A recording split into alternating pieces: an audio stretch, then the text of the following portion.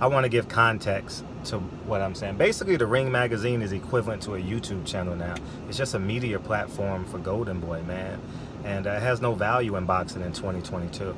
But I really want to talk about the reason why I think Al Haymon, why I know Al Haymon is a piece of shit. I'm gonna take you guys back to May of 19 when JoJo Diaz fought Gary Russell.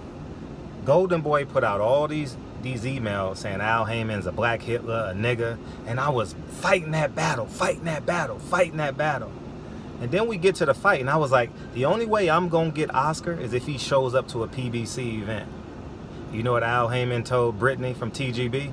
Cancel the question and answer because I was about to hammer their ass. And I woke up and I says, these men are really benefiting off this racism shit. And then we fast forward, right? I was well on my way to becoming a Hall of Fame journalist, and by many accounts, everybody knows I'm one of the, I'm one of the better ones out there, right? I was making eight to twelve thousand dollars a month on YouTube. Life was great, but I always thought that we had to take a stand because people say there's racism in boxing.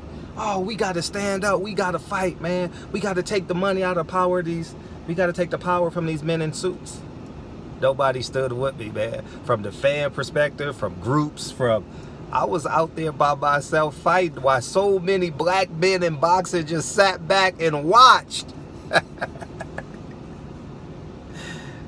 We're cowards, man. We're comfortable cowards, man. I challenge a black fighter, manager, promoter, because Al Haymon ain't gonna do it. I challenge y'all to put integrity and pride and generational moving forward over your check. I'm never going to the Hall of Fame, which I would have in 25 years.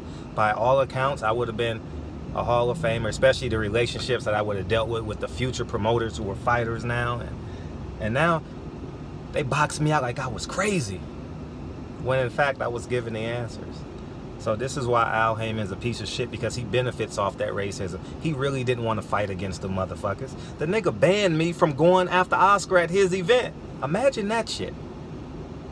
And imagine all these fighters talking about all these janky sanctioning fees, but they won't throw the belt in the trash.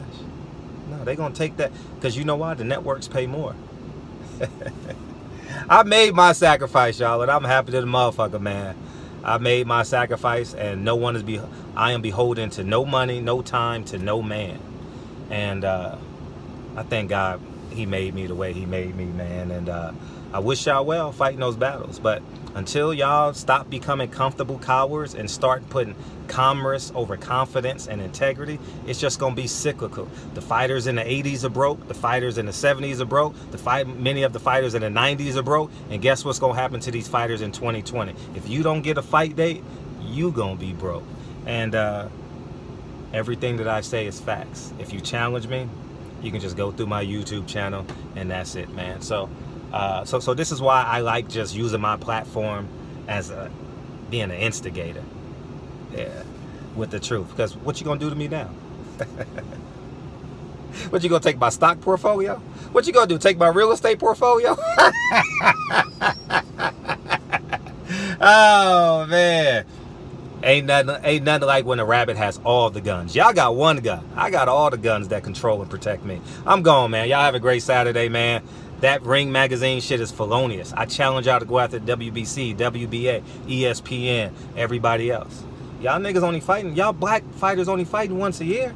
What y'all got to lose? Ah, uh, that check. I'm gone, man. Peace.